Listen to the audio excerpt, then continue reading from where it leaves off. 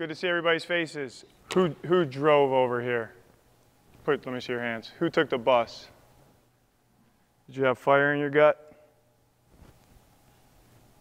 Did you? We're here for a reason.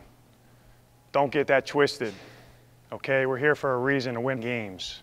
So if you didn't have that fire in your gut, you better, you better light the fire pretty fast. Okay?